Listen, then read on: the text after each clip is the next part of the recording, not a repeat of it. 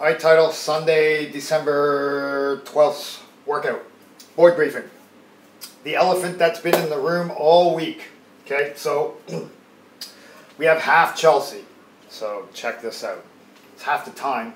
However, more repetitions. So every minute on the minute for 15 minutes, we want to try to accomplish 10 pull ups, 15 push ups, 20 air squats.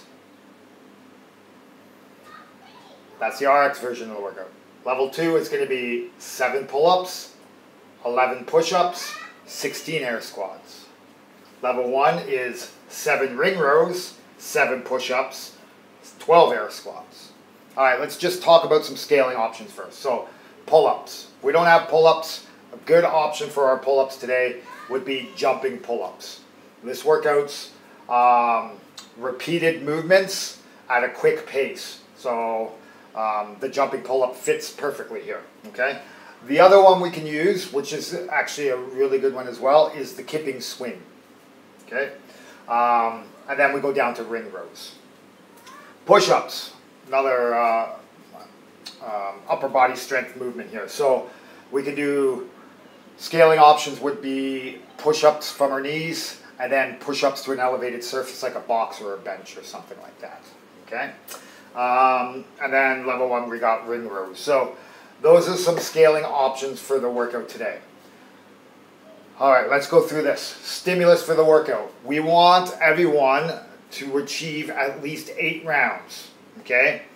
And what that means is, is if we need to scale back on the repetitions, we scale back on the repetitions, okay? And that needs to happen fairly quickly in the workout because this workout's like a a boom, boom, boom, boom. Every minute on the minute, you got to go. So before the workout starts, have a, escape plan or a backup plan, uh, a plan B and a plan C. Okay? So that being said, every person in the gym, every hour the workout goes off, we should be trying to aim for eight rounds every minute on the minute. Backup plan, um, and the backup plan should be more than the regular Chelsea.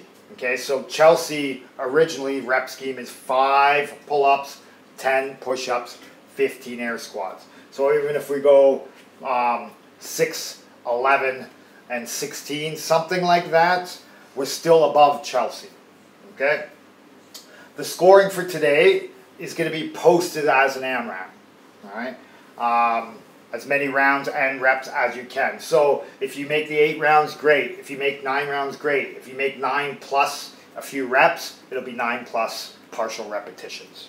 Okay, that's how the scoring is going to work for today. If you make all 15 minutes, um, RX level two, level one, you'll just put in the comments section that you made all the movements, or sorry, all the, the whole EMOM. Okay, that's how the, the, the event's to be scored.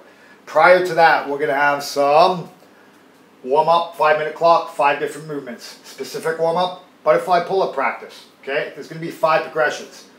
30 seconds to a minute at each progression. Now, for the newer people in the gym who aren't quite sure what's going on with these butterfly and kipping pull ups and all this gymnastic craziness, don't worry about it. We have five different progressions. We get stuck on one of the progressions we just stay on that progression, and then that's how we sort of gain strength um, and the ability to do these movements, right? So we, we practice, we practice until the skill gets too hard, and then we stay at that skill level and we build strength and uh, movement pattern from there, okay? And then we have a movement prep.